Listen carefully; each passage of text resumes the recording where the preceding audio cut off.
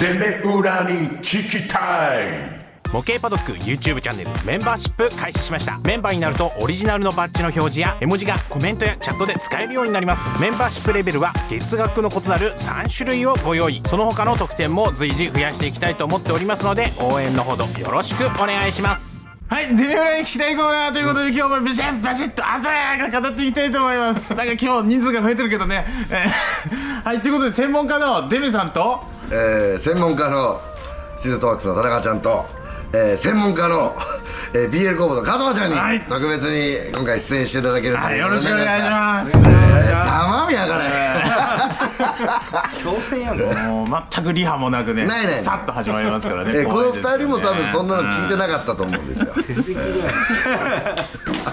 でも専門家がこんだけいて、うん。カスタムの人カスタムの人カスタムの人編集の人ん。ねこんだけいるんだから。答えられないことはない。ないはうん。ずだ完璧な布陣でねうんお送り。だからちょっとテンション高いでしょ。ざまみろと思ってた。今日まあまあまあ。まあはビシバシと。ねビシバシとやっていきたいんでございますけどまああれ忘れてたねあれまたね。あーええ。スポンサーをいただいたそうそうそう。ん皆さんからのね、えー差し入れ大募集中でございます。随時ね、えーまたあのベリベリになってますけどね各でね。ということで、えー、Amazon リストもありますけれども皆さんの一押しの商品ございましたらぜひぜひ送っていただければと思います。あなんか届いてるんでしょ多分。はい届いてます届いてます。あまた後でじゃあちょっと住所見えちゃいます。無理っす。無理っす。そうなんですよねこれ。ず随時じゃあちょっとね、えー、綺麗にするということで、はい。で、えーこのコーナー皆様のお悩みご質問に答えるコーナーとなっております。QR コードからエントリーしていただくか概要欄にもリンクがございます、えー YouTube のコメント欄でも受け付けております。お気軽にご投稿いただきたいんですがカスタムの詳しいご相談や在庫の確認はパドック店頭まで直接お願いいたします。はいこちら今日はですね12月ということでね今回はあのいろんなたくさんのものをいただいてるということだけ。ちょっとまた、えー。あと今度作り直しとくと、いうことでね。はい。さもうあれですよ。あもういいいつもの言いあーましたあのメンバーシップ。も入ると質問のね回答順位がこう回答の優先順位がガッと上がりますんでぜひそちらの方ご活用ください。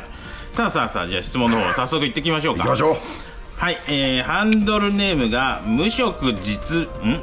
無職実実物サバゲーマーさんどういうこと？無職実物さばけ無職だけど実物の装備が欲しいのかなってことね。はい。はい、二人に聞きたいということで、皆さんにね、えー聞いていただきたいと思いますけれども。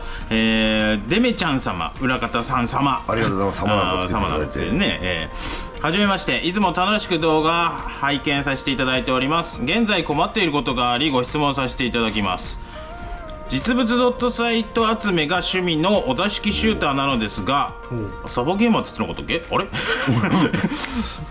ある特定のドットサイトで接眼レンズから光が入るとルビーコートに反射して赤い光が見えることがあるのですが何か対策などする方法はないのでしょうか？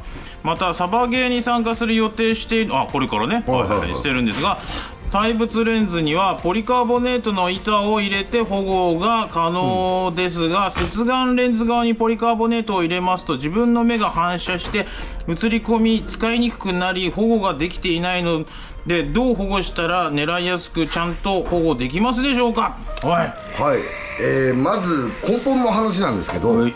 対物レンズはうん。敵と対峙してるから撃たれるんですけど、そうだね。もう、えー、接眼の方撃たれてるってことはかなりやばい状態なんですよ、ここのこここの距離を後ろからこうバーンって狙われてるのでもうそれはあのシチュエーション的にはゼロじゃないけど、あのあんまり後ろは気にしないんですよ。まあカバーしなくてもいいんじゃね？対物はみんなやっぱりこう、えー、ハニカムみたいなのつけて反射を抑えてみたりとデビさんなかんかもう眼圧で押さえてますからねえー、いいですか？私ホットサイト。ドットサイトを抑える眼圧で効押さえてるんで。果全くないんですよ。大丈夫だと思うんだけども。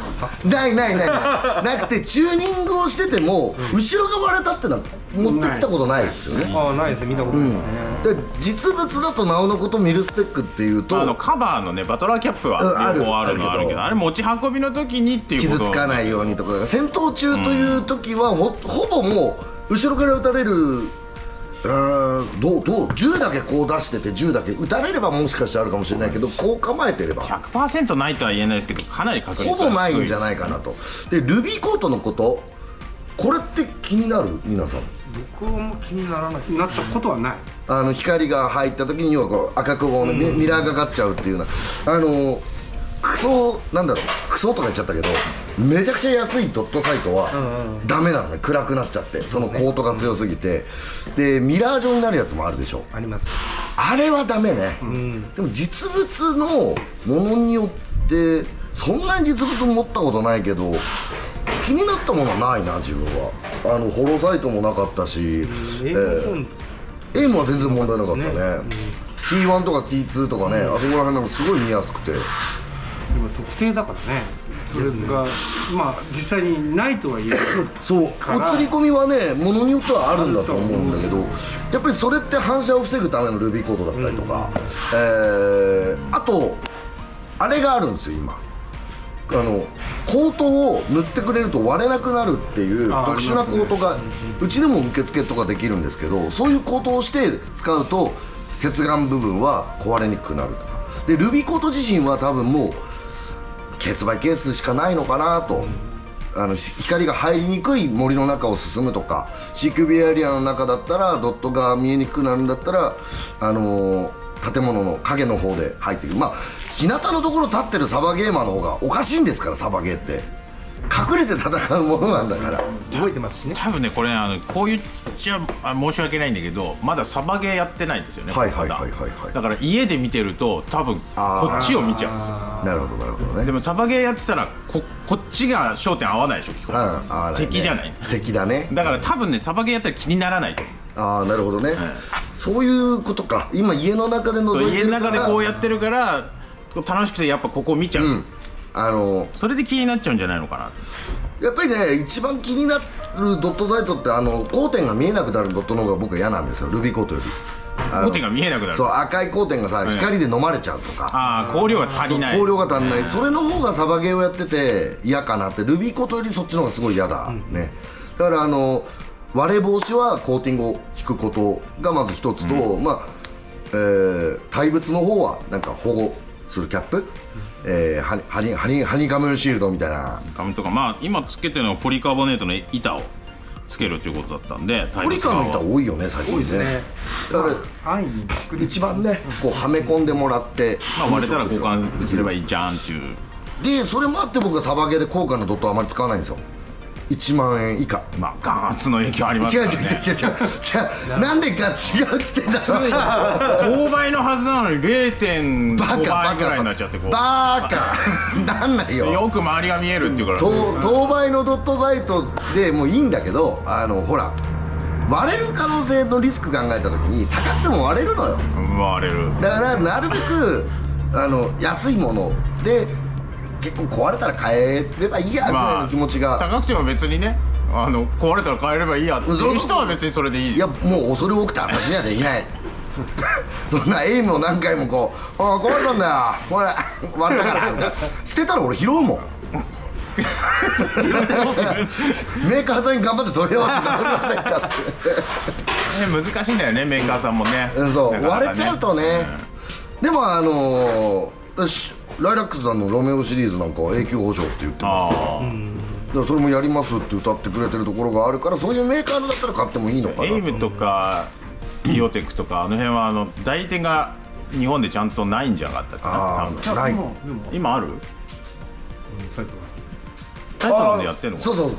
えー、あそこ、えー、ノーベルさん。そう。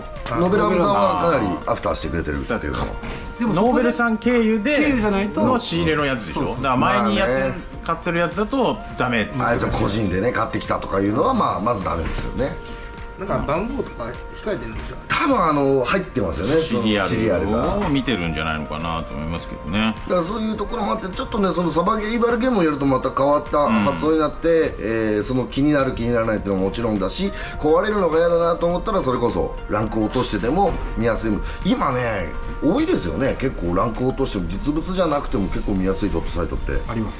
あります。かなりあると思うんですよであと実物だけどそんな高くないスコープだとねブッシュネルとかかなりあの有名なメーカーなんですけど安くてねいいものがあるのでそんなにまあえー実物をもちろん求めるってもらうのがね僕らとしてもいいんですけどレプリカのものとか、えーかなりこうコピーされたものでもいいものがありますので、あんまり進めちゃいけないんですけどね価格帯と合わせて使ってもらえればいいかなと思います。はい。参考にしていただけると思います。ありがとうございますデメ裏に聞きたいコーナートークテーマ募集中です。デメちゃん裏方さんに聞いてみたい話。語ってほしい話。エアガンサバゲーカスタム装備品その他の悩み尋問何でも OK デメ裏が動画にてざっくばらんに答えます。投稿方法は YouTube コメント欄かホームからエントリー。皆様からのご投稿お待ちしております。